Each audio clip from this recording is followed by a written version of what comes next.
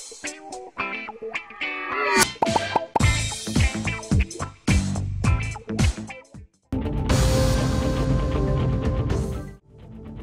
गुजशत रोज बंजारा हिल्स में एक पुलिस कांस्टेबल ने एक शख्स की जान बचाई। Banjara hills traffic police station में खिदमत अंजाम देने वाला constable A Shankar Banjara hills road पर ड्यूटी अंजाम दे रहा था, जब उसे कुछ लोगों ने इतला दी कि एक शख्स बिजली का करंट लगने से बेहोश हो गया। जिसके साथ ही पुलिस कांस्टेबल शंकर मौके पर पहुँच गए और उसे सीपीआर करवाया। जिसके बाद उन्होंने 108 एंबुलेंस को कॉल करते हुए जख्मियों को अस्पताल मुंतकिल कर दिया। कांस्टेबल के इस अमल ने उस शख्स की जान बचाई। Hyderabad commissioner police C Anand व दीगर आला अहदेदारों ने पुलिस कांस्टेबल शंकर के इस इकदाम की सताइश की।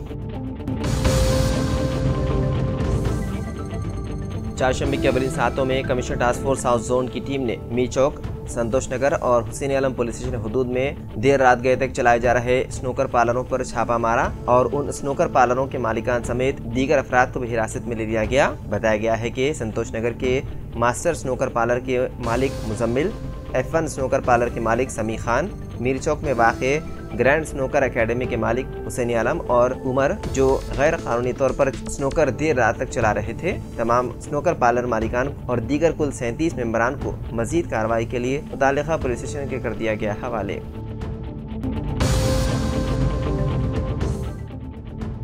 हैदराबाद की रचागोंडा पुलिस ने नकली तालीमी सर्टिफिकेट्स की तैयारी का पर्दाफाश करते हुए तीन अफराद को कर लिया गिरफ़्तार। पुलिस ने उनके कब्जे से Osmania university JNTU university Kakatiya university Acharya Nagarjuna university के अलावा तेलंगाना बोर्ड ऑफ़ इंटरमीडिएट और एसएससी के नकली सर्टिफिकेट जब्त किए। मुजमिन की शिनाख्त सैंतालीस साल अहम आनंद कुमार, पैंतीस साल हेमंत और शेख शाहीन के तौर पर की गई है। प्रेस कॉन्फ्रेंस से खिताब करते हुए कमिश्नर पुलिस रचागुड्डा महेश भागवत ने कहा कि मुलजमीन बैरून ममालिक जाने के ख्वाहिशमंद नौजवानों को ये सर्टिफिकेट्स पचास से साठ हज़ार रुपये में फ़रोख्त करते थे। मकबूदा यरूशलम में बस स्टेशनों पर दो धमाके पेश आए, जिसमें एक शख्स की मौत जबकि मुतद अफराद जख्मी हो गए। रिपोर्ट के मुताबिक इसराइल के पब्लिक सिक्योरिटी के वज़ीर ने धमाकों को हमले करार दिए। आईटी ने सीआरपीएफ के एहलकारों के साथ मिलकर मेरे बेटे पर किया हमला। रियासत वज़ीर मल्ला रेड्डी का बयान। आईटी हुकाम शहर में वज़ीर के तालीमी इदारों और उनके रिश्तेदारों के घरों की तलाशी ले रही है। ये छापे मंगल की सुबह शुरू हुए और आज दूसरे दिन भी जारी है। वज़ीर मल्ला रेड्डी के ज़रिए चलाए जाने वाले तालीमी इदारों पर महकम इनकम टैक्स के छापे में उस वक्त एक नया मोड़ आ गया, जब वज़ीर के बेटे महेंद्र रेड्डी ने सीने में दर्द की शिकायत की और उन्हें अस्पताल मुंतकिल किया गया। बाददा मल्ला रेड्डी ने अस्पताल पहुँच अपने बेटे से मुलाकात की। बाददा मीडिया से बात करते हुए उन्होंने कहा है कि आईटी एहलकारों ने सीआरपीएफ एहलकारों के साथ मिलकर उनके बेटे पर हमला किया और उसे बेदर्दी से पीटा। उन्होंने कहा है कि बीजेपी मरकजी एजेंसियों का इस्तेमाल करते हुए उन्हें निशाना बना रही है। उन्हें निशाना बनाकर डराने की कोशिश की जा रही है। वज़ीर ने कहा कि हम मुआशी तौर पर पसमानदा ख़ानदानों के तलबा को तालीम फराहम करते हैं और उनकी ज़िंदगियों को संवारते हैं। हम कोई स्मगलिंग का काम नहीं करते। हैदराबाद में पेश आए एक इंसानी असूज वाक़े में। कंचनबाग की खातून को उसके शोहर और ससुराल वालों की जानब से मुबैना तौर पर कुछ गोलियाँ खिलाने के बाद उसके हमल को गिरा दिया गया। पुलिस के मुताबिक कंचनबाग के रहने वाले सैयद महमूद की शादी तकरीबन तीन साल कबल हुई थी और दोनों की एक बेटी है जिसकी उम्र अठारह माह है। खातून छः माह की हामिला थी और महमूद और उसके वालदेन को शुबा था कि वो दूसरी लड़की को जन्म देगी।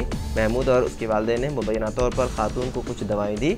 पंद्रह नवंबर को खातून ने घर में मुर्दा बच्चे को जन्म दिया। बाजुदा लवाकिन ने नाश को कंजनबाग के कब्रिस्तान में सुपुर्द खाक कर दिया। ताहम खातून ने कंचनबाग पुलिस से वज़ू होते हुए इस वाक़े की शिकायत दर्ज करवाई, जिसके बाद पुलिस ने इस सिलसिले में मुकदमा दर्ज करते हुए महमूद को ले लिया हिरासत में।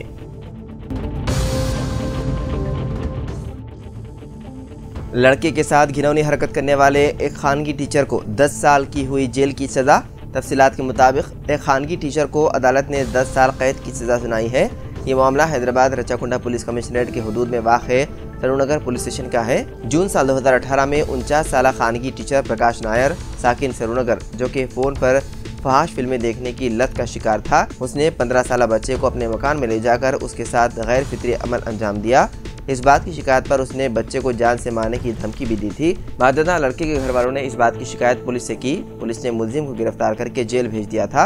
ये मुकदमा अदालत में जेर दौरान था। कल एलबी नगर की अदालत ने मुजरिम को 10 साल कैद की सजा सुनाई। और पैंतालीस हज़ार रुपये जुर्माना भी किया आयद। मकान मालिक के इक्यासी तोला वजनी सोने के जेवरात की चोरी करने वाली खातून, उसके शोहर और माँ को नारायणगुड़ा पुलिस ने कर लिया गिरफ़्तार और उनके कब्जे से मसरूखा जेवरात भी कर लिए गए जब्त। तफसीत के मुताबिक वरुण दोषी नामी शख्स ओल्ड एम एल क्वार्टर्स के पास रहता है। चंद दिन कबल उसकी वालिदा की जानब से छुपा कर रखे गए जेवरात का सरखा कर लिया गया था। इस सिलसिले में पुलिस से शिकायत की गई। पुलिस ने सीसीटीवी फुटेज का जायजा लिया और मुकम्मल तहकीकात के बाद उस घर में काम करने वाली खातून सुनीता, उसके शोहर सुरेश और सुनीता की माँ शोभा को गिरफ़्तार किया गया। दरअसल सुनीता ने मौका देखकर चोरी करने का अपने शोहर और माँ के साथ मिलकर मनसूबा बनाया था। चोरी की वारदात अंजाम देने के बाद वो किसी को शक ना हो, इसके लिए मकान में पहले जैसे ही काम कर रही थी।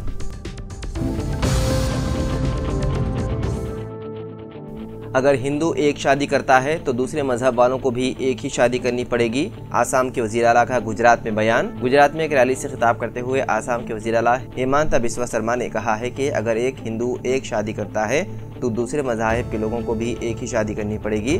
मुल्क में यकसा सिविल कोड नाफिज होना चाहिए। एक शख्स दो तीन शादियाँ करता है, आखिर आप दो तीन शादियाँ क्यों करेंगे? मुल्क में जब हिंदू एक शादी करता है तो दूसरे मजाहब वालों को भी एक ही शादी करनी चाहिए।